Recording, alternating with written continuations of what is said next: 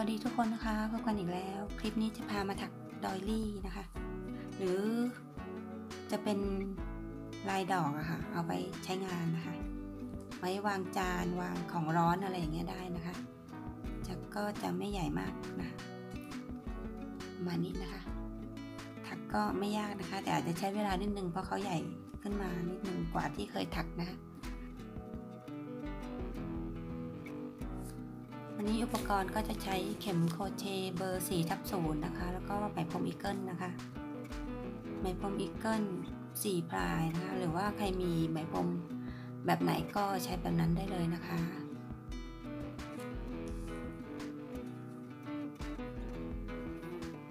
เริ่มต้นคล้องไหมเป็นวงกลม ก็เกี่ยวเข็มเข้าไปในห่วงนะคะ เกี่ยวขึ้นมาล็อกห่วงครั้งหนึ่ง ถักโซ่สามโซ่สามเสร็จแล้วให้ถักพอหนึ่งคอนะคะ ลงไปในวงกลมหนึ่งครั้ง พอหนึ่งคอหรือ F นะคะปลดห่วงสองห่วง แล้วก็รวบอีกสองห่วงนะคะ จากนั้นถักโซ่สามพอหนึ่งคอสองครั้งนะคะ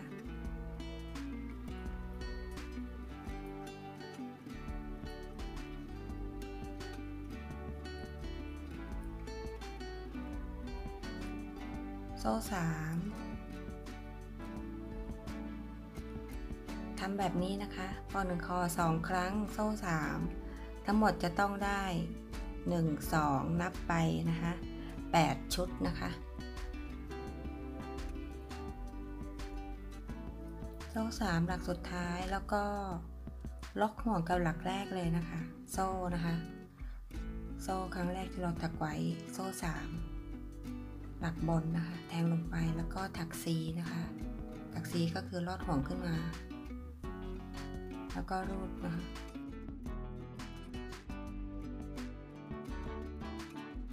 ต่อไปแถวที่สองนะคะ ให้เราเลื่อนห่วงมาให้อยู่ตรงกลางห่วงนี้นะคะ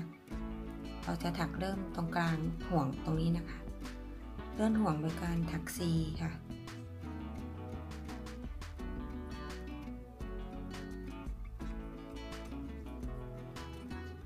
ซีไปสองครั้งนะคะเลื่อนห่วง ให้เขามาอยู่ตรงกลางนะคะ แล้วก็ถักโซ่สามโซ่สามแล้วก็ถัก F หนึ่งครั้งลงในห่วงเดียวกันนะคะ ถักโซ่สามอีกครั้งหนึ่งถัก F สองครั้งลงในห่วงเดียวกัน จะได้เป็นสี่นะคะ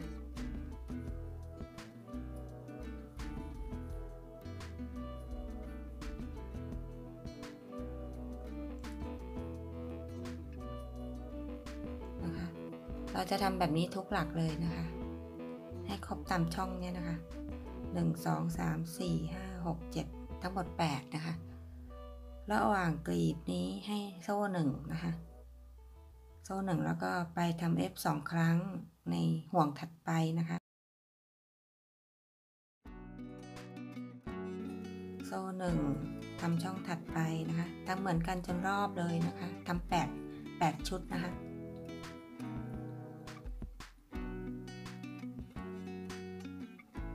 จบด้วยโซ่หนึ่งนะคะ แล้วก็ไปล็อกห่วงกับโซ่สามนะคะที่เราถักกลีบแรกหลักแรกเลยถักสีนะคะ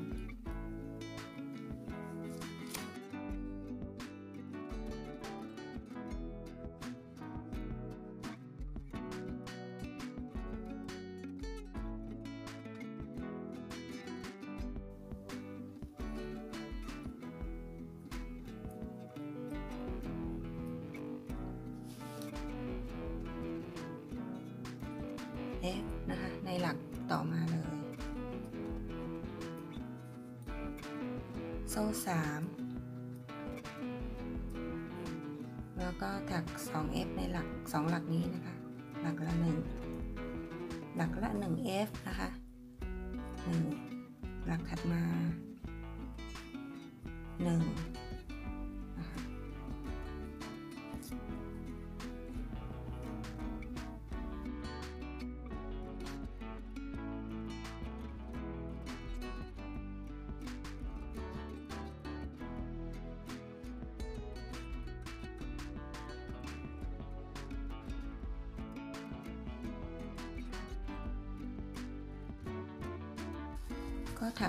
2 โซ่ 3 2 F โซ่ 3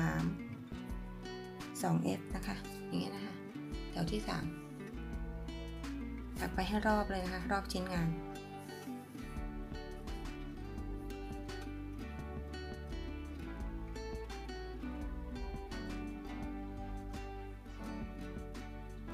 มาถึงหลักสุดท้ายแล้วนะคะ ถัก f แล้วก็จบงานด้วยโซ่ 3 นะคะ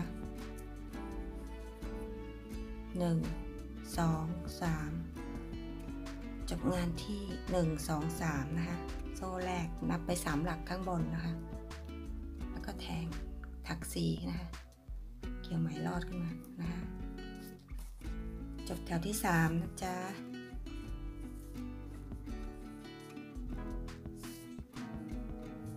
ต่อไปแถวที่ 4จ้ะ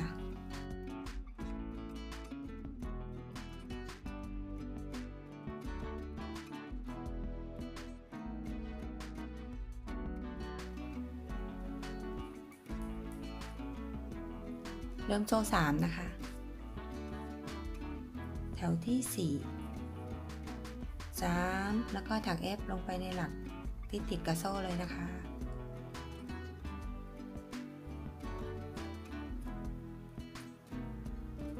โซ่สามเว้นตรงกลางกรีดนะคะ โซ่สามแล้วก็ 2F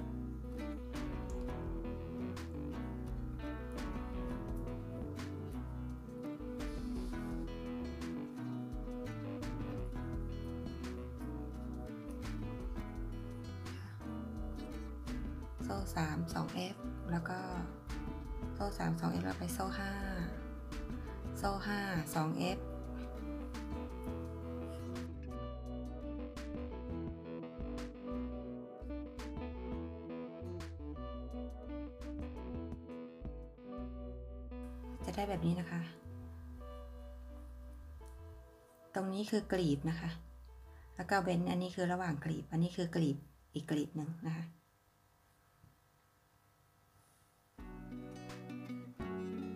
ก็ถักสลับไปงเงี้ค่ะโซ่สามสอง F โซ่ห้าสอง F นะก็เริ่มโซ่สามสอง F โซ่ห้าสอง F ถักไปจนรอบเลยนะคะ แถวที่สี่นะคะ จบงานด้วยโซ่ห้านะคะ สามห้าสามห้าสามห้าสามห้าสามห้าสามห้าสามห้าสามก็ห้าหนึ่งสองสามสี่ห้าหนึ่งสองสามจบงานด้วยถักสีเหมือนเดิมนะคะ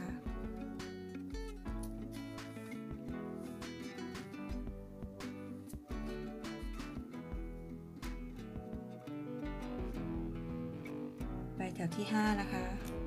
ขึ้นโซ่สามเหมือนเดิม F นะคะ แถวนี้ F สี่ครั้งเลยนะคะ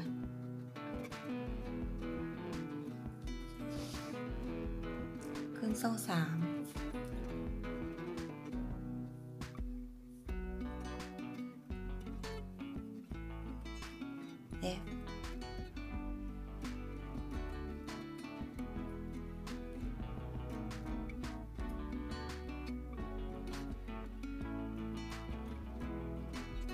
แต่แล้วเราจะถัก 2F ตรงนี้เลยนะคะ โดยพันหัวเข็มไปเลยนะคะ ถักข้ามไปอย่างนี้เลยนะคะ ทิ่มเลยค่ะ ทิ่มข้ามไปเลยถัก F เลยก็จะถึงปลายกรีบแล้วนะคะ ก็จะแหลมๆแล้ว 2F นะคะ จะได้งมเข้าแบบนี้นะคะ พอได้ 2F แล้วจากนั้นเราจะถักโซ่5นะคะ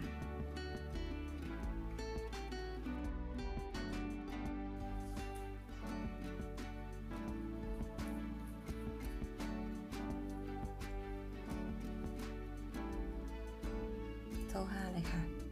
1 2 3 4 5 นะคะ แล้วก็ถัก F ตรงกลาง กลางโซ่ 5 แถวล่างนะคะ พันหัวเข็มก็แทงลงไปตรงโซ่ 5 เลย รอดไปเลยนะคะ ควักขึ้นมา ถัก F นะคะก็จัดให้เขาให้อยู่ตรงกลางนะคะ แล้วก็โซ่ 5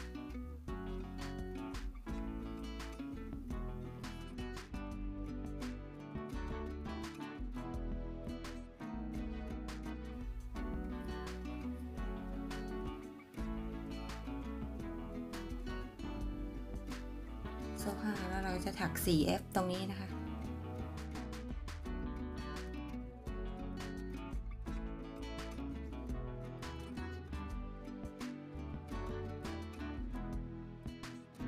ได้อย่างนี้นะคะ ต่อไปเราก็ถักโซ่ห้า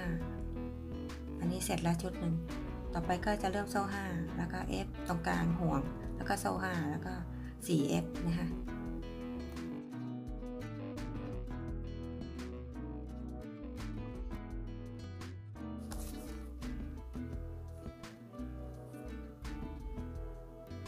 ทำ 4F แล้วก็ไปโซ่ 5 แล้วก็ F แล้วก็โซ่ 5 นะคะ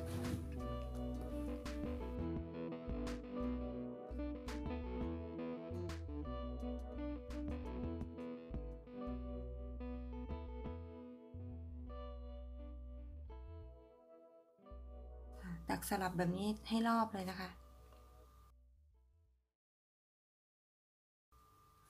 จบแถวด้วยโซ่5นะคะ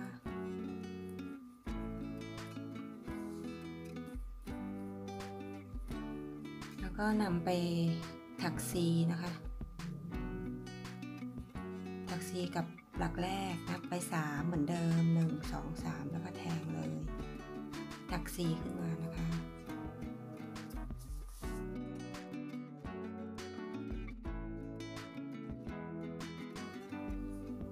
ค่ะต่อไปเราจะถักลายกลีบนะคะเอ่อขึ้นต้นด้วยโซ่3เหมือนเดิมนะคะ แล้วก็รอรวบห่วงพร้อมกัน โซ่ 3 แล้วก็ถัก 3F แล้วรวบห่วงพร้อมกันนะคะ โซ่ 3 แล้วก็ถัก F ลงไป 1 ครั้งอย่าเพิ่งรวบนะคะ ถัก F อีก 2 ครั้งนะคะ ทั้งหมด F 3 ครั้งแล้วก็โซ่ 1 รวมเป็น 4 นะคะ เสร็จแล้วจะได้สีห่วงในเข็มรวบห่วงพร้อมกันนะคะ ล็อกครั้ง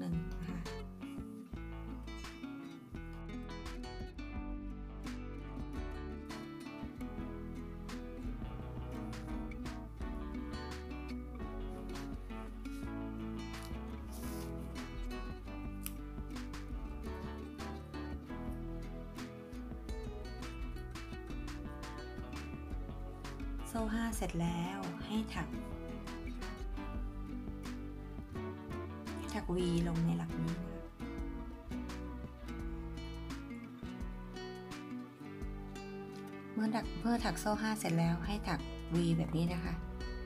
ถัก F 2 ครั้งในหลักในหลักเดียวกันนะคะโซ่ 5 เสร็จแล้วให้ถัก V พอ1คอ2 ครั้ง พอ1คอ2 ครั้งเสร็จแล้ว แล้วก็ถักโซ่ 5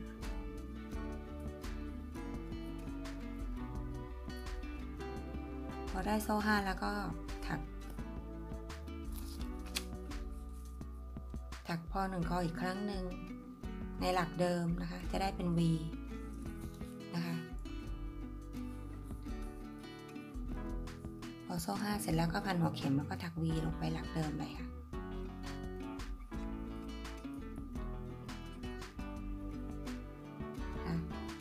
จากนั้นให้ถักโซ่ 5 แล้วก็ทำกรีบแบบ แบบตรงปลายนั่นนะคะ ถัก F 4 ครั้งแล้วรวบพร้อมกันนะคะ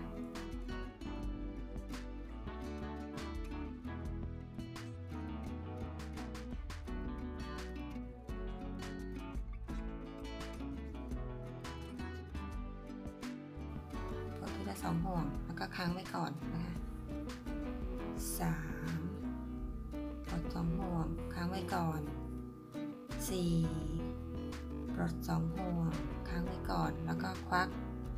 พันหัวเข็มหนึ่งครั้ง แล้วก็รวบทีเดียวนะคะ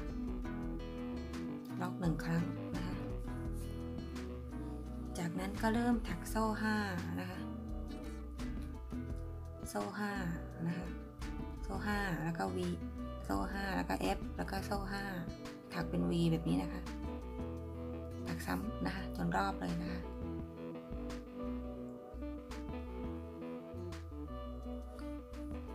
แถวที่ 6 นะคะ จบงานด้วยโซ่ห้านะคะ โดยนำไปล็อกกับหลักแรกเหมือนเดิมนะคะหนึ่งสองสามสองสามแล้วก็แทงลงไปนะคะ แล้วก็ล็อกถักซีนะคะ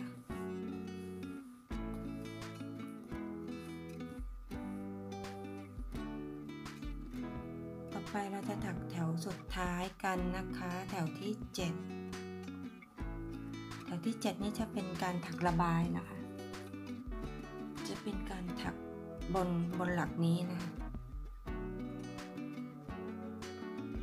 เดี๋ยวเรามาดูดูวิธีถักกันเลยนะคะ เริ่มต้นนะคะโซ่ห้านะคะ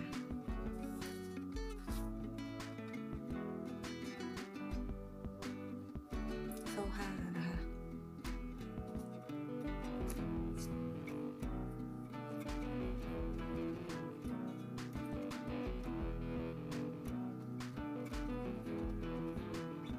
ต้นโซ่ห้านะคะ เดี๋ยวเราจะถัก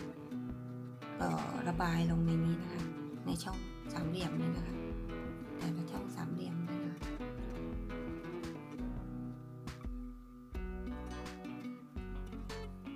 เราจะถักลงไปในนี้นะคะ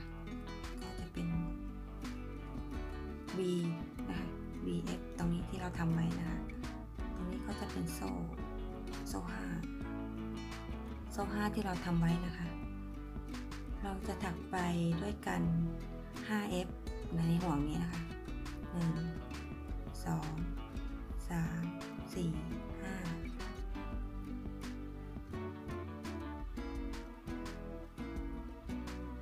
5 5F แล้วระหว่าง F เนี่ยเราก็จะทำจะทำสามสามโซ่ให้เขานะคะ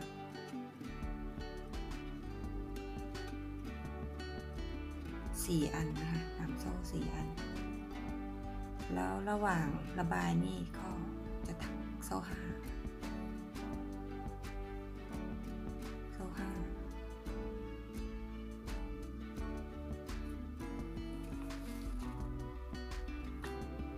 นี่นะคะ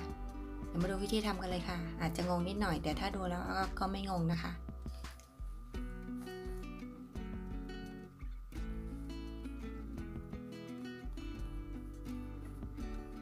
เมื่เราถักโซ่ห้าเสร็จแล้ว แล้วเราก็จะไปถักระบายลงในสามเหลี่ยมอย่างที่บอกนะคะ โซ่ห้าแล้วก็ถัก F นะคะ ถัก F ลงในสามเหลี่ยมเลย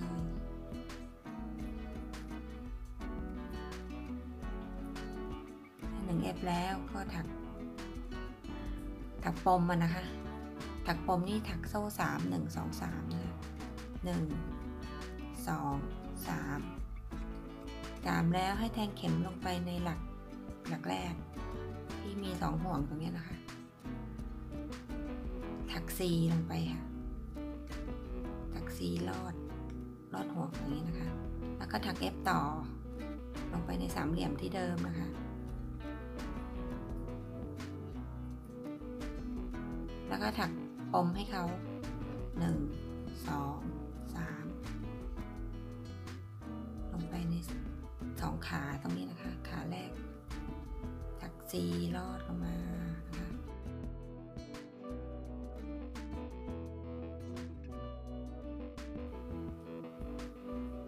สุดท้ายแล้วนะคะ จะได้ 5F 1 2 3 4 5 ผมก็จะได้ 4 1 2 3 4 นะคะ 1 2 3 4 5 1 2 3 4 นะคะ จบระบายแรกด้วยการถักโซ่5 ถักโซ่ห้าแล้วก็ไปถักสีนะคะ ที่กลีบปลายกลีบนะคะสีผ่านห่วงขึ้นมานะคะ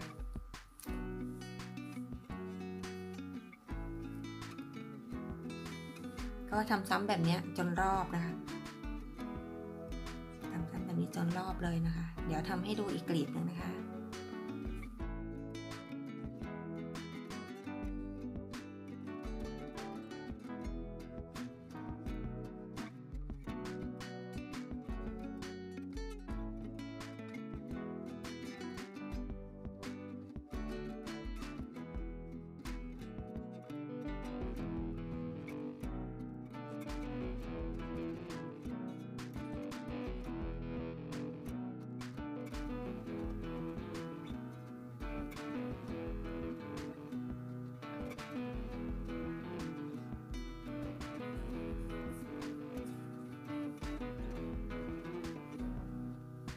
แบบนี้จนรอบเลยนะคะ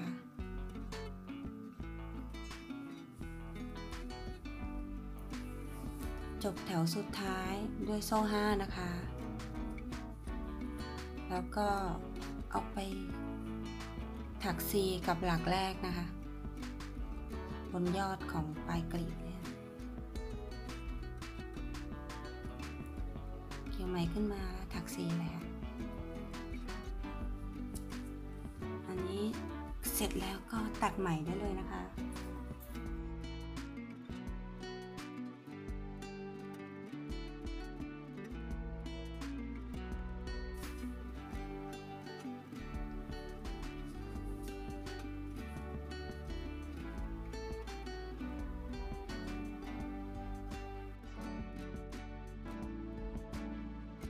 ตอนนี้เราก็ถักเสร็จแล้วนะคะ เราก็ได้